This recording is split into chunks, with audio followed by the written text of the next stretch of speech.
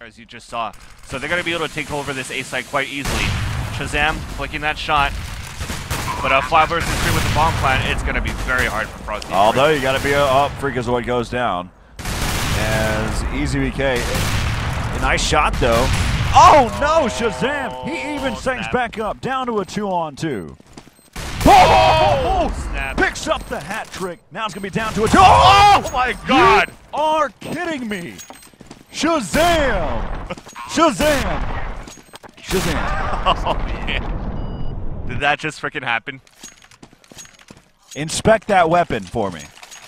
Can someone inspect that weapon for me? Hit F, Shahzam. Let me see Hey, that lightning on that. Shahzam, can you inspect your weapon for me? Because I don't know about that. Because that is ridiculous. Four kills, one after the next. It looked like there was no, or, or there's no light at oh, the end. Not only there's that no one, way. It's that it's that drop shot that he got. That third kill was sick.